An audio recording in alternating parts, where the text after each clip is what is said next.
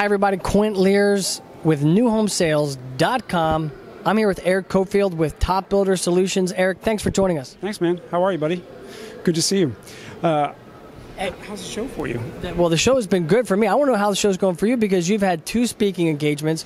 You spoke on how to make your website battle ready, cash flow engineering. What are you seeing right now with, with builders? And I know you meet and consult with a lot of different entities. What are you What are you seeing right now on the front lines? Well, finally, I think we're at a point where builders are adopting technology at a more rapid pace. Um, and so that's fantastic. It's fantastic for the industry in general. Uh, so that's good. Yeah. One of the presentations was your website is not afraid, make it battle ready. And what I found in talking with the builders afterwards, I think it was well received. You know, I, I always come in singing or marching or something, catch everybody's attention. Uh, builders are still a lot of builders are still sort of complacent with a digital brochure of a website and they're not viewing their website as a piece of military equipment that really can do battle with their competitors i made a, um, an analogy with the how to win monopoly uh, and they all loved it and um, it's pretty simple. You know, in Monopoly, you almost always win if you just create a housing shortage, like buy all the houses as fast as you can. And with your website and in marketing in general, what you're trying to do to outposition your competition is take the leads away from the other builders as fast as you can. Because these consumers, they're not going to go to 12 builders, right? They're only going to go to a few, a s- small number of builders. And so the earlier that the builders can capture those leads and keep them on site, if they've got interactive floor plans or other mechanisms to keep them on the site longer, they're much more likely to get their prospects information and then their contact and then on-site visit and sell them a house. So you've got interactive floor plans. What else can builders do to keep people on the website longer to capture that lead upstream? Yeah, well, they can. There's a lot of things: uh, videos, animations, renderings, a mortgage calculator, uh, a VIP customer um, sign up form. You know, most builders have contact us forms, but you should have multiple types of contact us forms at different places on the website.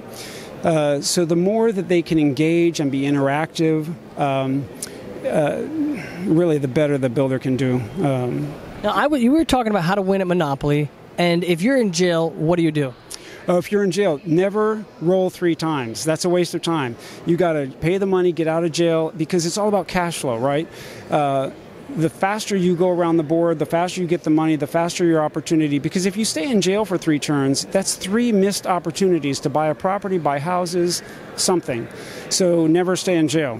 Don't go to jail either, by the way. So don't go to jail. We're going to win Monopoly by buying up the houses. Don't go to the hotels. If you're in the jail, you just pay the money, get out, start buying up more houses. What else do we need to do to win at Monopoly and win at new home sales? Well, um, you know, I think a lot of builders are not really planning for the to win up front. You got to plan for the unexpected. You have to plan how to win up front. In my cash flow presentation, which is cash flow is king, why you're not making what you should, we talked about a lot of things that builders can look at before they ever go into business. For example, if your salary is a variable cost of, you know, like whatever's left is my salary, that's not a plan. That's not sustainable. So your salary needs to be a fixed cost whether it's 80 grand a year, 40 grand a year, $400,000 a year, whatever that is for you, you've got to make that a fixed cost. And if your plan doesn't work at that, then you got to adjust your plan. The other thing that builders aren't really looking at um, is how many leads are you getting and what's the conversion rate? Because if those two numbers specifically, there's many numbers we could look at, but those two numbers specifically, if your plan says you're supposed to get 800 leads this month and you're only getting 400, that cash flow is going to cascade down the rest of the way. So those leads that are coming in initially, that's where it all starts. You don't make a profit and you don't have cash flow unless you have the right amount, uh, right, amount of leads, I should say. Now, you mentioned the conversion ratio. What's the national average? What's a builder can say, pat them on the back and say, I'm doing well? What's the ones where they should be ashamed of themselves? What, where are we supposed to be with conversion? Well, that's a double edged sword. I don't think I can answer that because it's a lose lose answer. But it not only is it about the, the market you're in, like if you're in Colorado Springs, you're selling if you open the door. So why do you show up at 1010 or 1030 when you could have maybe sold a house at 10 a.m.? Now, other areas that's not the case, right? There are there are places where it's still hard to sell. So it's kind it's it's really very local. You know, I don't know that there's a national average that's going to make sense to every builder. Um, I appreciate that's actually a really good answer because you know, if you had said, hey, 25%, it wouldn't make sense. It's not a one size. So real estate is localized and it's different in every single market. Let me ask you a couple questions. So you're giving back. You, are starting up a new blog. You wrote a, a book that's up on Amazon. Yeah. Uh, just look up Erik Cofield. It'll come up. Um, you're, you're, you're, another book too. I've written a children's book that it's really for builders, but it's designed, well, it's a children's book, but the messages are all for builders. And it gives the builders a way to talk about what they do, custom builders. It gives them a, a children's book they can give to their kids that teaches the kids what the builder goes through and how they can do marketing in a different way. Because what's the adage? If you always do what you've always done, you always get what you always got. But I would suggest that that is not true anymore. You, you will not get what you got. In fact, if you send 50,000 emails today, there's no way you get the response that you would have gotten 10 years ago. So builders must continue to look at ways to innovate. I would really I, I, tell all my customers this you cannot do what everyone else is doing and think that you're going to get some better uh, better result what's the, the saying is you don't have to outrun the bear you just have to outrun the person you're with so builders can outposition their competition. They just have to look for you know new and different ways. When I come singing into my presentations, uh, in the cash flow one, I was singing "Money, Money, Money" by ABBA. It wakes up everybody, and they're like, "Who's this crazy man singing?" But you know what? They stop and they pay attention, and it didn't cost me a thing. It cost me some audacity and some confidence. So, in their marketing, builders have to have confidence, audacity, and they have to do something different. It's just, it's just not enough to do the same thing as everybody else does. Now, I want to encourage you to write a book about how to win at Monopoly for children because one, some of my most traumatic uh, memories was losing at Monopoly, just tears coming down. like, ah, I don't want to. And I just, I, I wanted to win, man. So I wish you told me this when I was, you know, five or six years old. Hey, so do you want to sing something for our audience right now? Sing something? Yeah, something. What if I fail? I won't let you fail. What if I fall? I won't let you fall. I don't sing, man. I just, this is just you know, to wake people up. I, I was getting, I thought, man, you touched me just then. Oh, so, yeah, yeah, right. so let me tell you this. So you're, you're, you're, you're speaking, you got the blog, you're writing a book, you're doing a lot of things, you're consulting. Who have who have been some of the people that have been your consultants, been your leaders? Uh, any resources, books, trainers, anything that, that you tap into for your strength? It, well, you know, I was a professor at a university level, so I taught a lot. I, I was teaching a, even as in sixth grade, I was going down to like first graders and helping them during lunch. I'm not sure what that says about me. Maybe I was a geek way back then.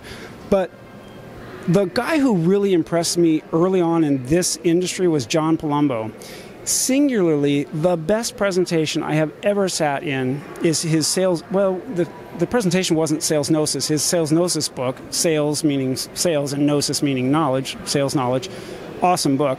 But he did this um, magic, the magic of sales presentation. He had the whole audience mesmerized, like we could not figure out. He would say, you know, think of a this and think of a that, and then like no matter who you were in the audience, you were totally astounded at the next slide. He's so good. John Palumbo is he's a master. Mentalism, ladies and gentlemen. Mentalism. It's that that's going to be good. John Palumbo. Anybody else you want to give a shout out to? Oh gosh, there's a lot. You know, I mean, Bob Schultz. Uh, I met him what 20 something years ago, and he had his audience. You know, he's like Sven Svengali, right? And Bob Schultz is one of those people who just, you know, he'll just tell you like it is. And I'm sort of brutally honest with my customers. I offer to grade their websites. You know, I'll get, you know, I'll put a fake lead in and see how you respond because a lot of these builders, frankly, they don't do a great job of responding. I say the builders, but it's really the salespeople.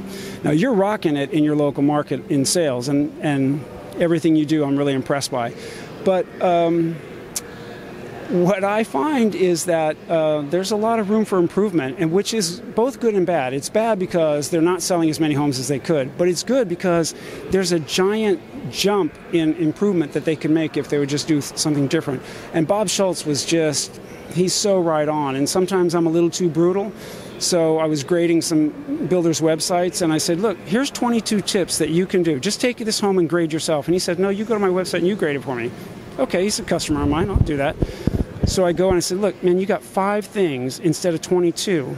You can do better. You can make your website battle ready. You can make that website compete Because that website does not need a Valentine's Day card. That website does not care if it's working overtime. That website is really a big piece of the puzzle for builders, and they need to put more emphasis on that website. Give me some of the tips, some of the 22 things that you look for. On a website? Okay, I, I don't want to see any clip art images. I don't want to see images of the the fake person. If you've got online chat, I think you should have text message marketing too, for that matter. Um, if you've got real people in your business doing real things. I want to see those real pictures. It's not a dating site. I don't care if you're a good looking guy or a lady with a pretty smile. I want to see that. I want to make that human connection. So I want to see who owns the company. If you can, if you got a lot of people, put a picture of your team. Um, if you've got an online sales counselor, which obviously everybody, like you don't have to sell many homes to afford at least a part time online sales counselor. Um, I want to see a real picture there. I want to see ways that you, as a builder, through your website, can engage and attract me as the consumer. I want to know what you do. I want to know what am I getting? What do you stand for as a, as a company? Um, I, I want to I want the builder to be an educator. I want to see a frequently asked questions because, if, especially for first-time homebuyers, you know, there's a lot of resources that you, as the builder, could provide them. You know, how what are homeowners, homeowner associations? What are they really about? Why are homeowner associations your ally? For example, um, I just think that builders could do a better job of being a, a resource for uh, these prospects because you, you know you're, you're trying to move those suspects to prospects to qualified prospects faster than any other builder in your business. So those builders need to go to every website of every competitor. What can I do better than them? And sometimes it's not very hard. You know, it's not very hard to do better than the average. Because average what? Average is just average. And all you have to do is do a little bit better than average, and you're the leader. Erik, you're doing a lot better than average. And let me let me talk a little bit about you because you did something little bit ago that touched me, and I, th- I think what I sense from you is that authenticity is is very important. My brutal honesty. My brutal honesty is the authenticity. You know, I just try and help the guys. I just try and help the folks that I see. Uh, I work for so many software companies for years now, and I went out on my own. And um, unfortunately, soft, some software companies really are not the builder's friend, right? And I don't like the insinuations and the implications because I know what those software companies are doing. So I help builders choose software. Um, I've got like a 200 question list, totally brand agnostic. I'll just give it to them, and then they can go do whatever they want. I, got into this industry. My dad wanted to be a builder, and he was uh, he and I built a doghouse. That doghouse was so heavy, and like you couldn't move the doghouse. It was on the porch, and I built it with him. And he always wanted to be a builder, but he was always dragged in other directions. And so, I don't know. I just like builders, and I want to help them. I guess. Erik, a little bit ago, something terrible happened to your home Talk about that. Oh, man. I live in Houston, so my house got flooded and kid's house got flooded. But look, change is the only constant, right? We've got to get up and get going. And, um, you know, I feel very blessed. And I say the word blessed not, not lightly. I feel blessed because I'll get through it, right? Uh, you know, your boat evacuated and you're putting your, um, your dog on the boat I lost a lot. So what? Well, what I want to tell you is that, and you posted pictures of it, and it was in such a way that you didn't say, I didn't feel sorry for you. I felt inspired because you said, Look, I lost my home. We didn't have flood insurance. I still have more to give. I can continue to work. I'm going to get back on the front lines, and you're doing it. Yeah, my wife lost some antiques and stuff, and she said, "You, you know, I, I, always wanted a new couch, but I sure didn't want it this way. So be careful for what you wish for." But I, I think you have to put your your life back, and you just got to get up and get going. I mean, you got to get up and get going. And so uh, I'm so blessed that I work out of my house my income didn't really change. My financial situation changed. Called my financial advisor and she said, no, no, no, don't be cashing in your stuff. Just take loans out. So, okay, so we did. So maybe I work a little bit longer. Maybe I work a couple extra years than I anticipated. But um, the stuff is stuff. I'm, I'm glad the grandkids are safe, the dog's safe, my wife's good. We're all good. You know, in retrospect, it's fine. it's okay. We'll get through it. But thank you so much for asking. That's uh, means a lot. Well, and I think it's a testament to doing what you love to do. Um, because you were able to get there and say, you know what, I'm just going to keep doing what I love to do, and you're you're making an impact. I want everybody to check out. How do we connect with you? Uh, well, topbuildersolutions.com is a is the company. So uh, Erik E R I K C at topbuildersolutions.com. And you've got a speaking event coming up. Talk about that. Um, I'm doing one for the SMA uh, next week, um, and I'll be at their convention um, uh, later this year. I did two here. Uh, I'll submit some more. And my mom always said, You should run your mouth for a living. Well, I took that advice. And best home builder practices. Are we, are we going to be up there? Yep. Uh, best home builder practices right in June coming up this year. I've, I've got a couple things going on there too. You're doing big things. I want everybody to check it out. Check out topbuildersolutions.com here with my friend Erik. Thanks so much for joining us. Keep making an impact. Thanks for being an encouragement to me, to the watchers, and you know to the other people that were. Um, uh, one thing that you learned going through the flood, through that hardship. Tell me something that you took away from that. Well, you know, you just never know what's going to happen. Um, you just don't know what's going to happen. You or I could have had any experience in the world yesterday, right? And I think you have to be emotionally prepared, financially prepared. That's good too, uh, because your book is continually being written until the last page of the last day, and you don't know what your chapters are going to be. So, you need to position yourself or your company to handle what comes what comes your way. You know, there's I mean there's a lot of people that had a lot of loss. I'm just one of 500,000. We got fires, and freezing streets, and floods, and um, but, but we as humans adapt to our situation, and I think. I think you just have to keep going and be prepared as best you can for whatever comes your way. Let me end with this. You know, there's all different trainers and consultants, and you know, some of them are flashy, and you do this, the, some of the flashy stuff too. But you had mentioned that you're more of the brain type, more of the you mentioned nerd, professor. But it takes all these different people, and you, you've got a lot of wisdom, you've got a lot of insights. So I would encourage people to check it out. Not just you know what's the big flashbang thing, but who are the people that have the wisdom, the long term, uninterrupted service to the industry, helping people. Thanks for giving back, Erik. Thanks for being an inspiration. Hey, and congratulations to you. Uh, congratulations on the nominations, the awards, your book. Um, what's the name of the book I can go buy? Hey, it's on there. Builder Book said, but today this is your show. I'm here to present for you, man. So Top Builder Solutions. Guys, keep watching. Please share this video, subscribe. Go play Monopoly, smoke them. Give us a comment on how you did that. Buy all the houses you can buy. Buy all the houses you can buy. Get out of jail, pay it, do it. That's right. Thanks, everybody. Quint Lears, newhomesales.com.